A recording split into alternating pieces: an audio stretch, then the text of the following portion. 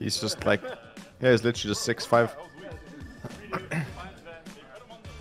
this van looks like a midget. Bro, you can't say that. Jesus, man. Hey, what? Is that is that like? Yeah.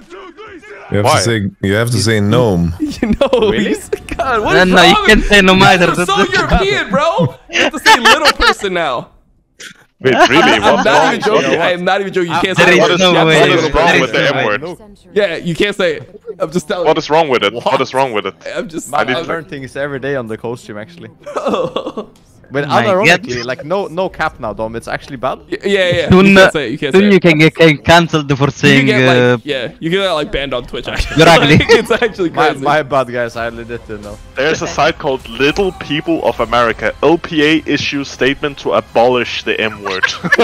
actually, Bro, stop actually, laughing. Why are you Oh, laughing, I'm bro? so cancelled. You guys are too European. I, I didn't say it. I said M word. what? uh, actually, when he said that, yeah, you have to say gnome. No, that's worse. You can't say it.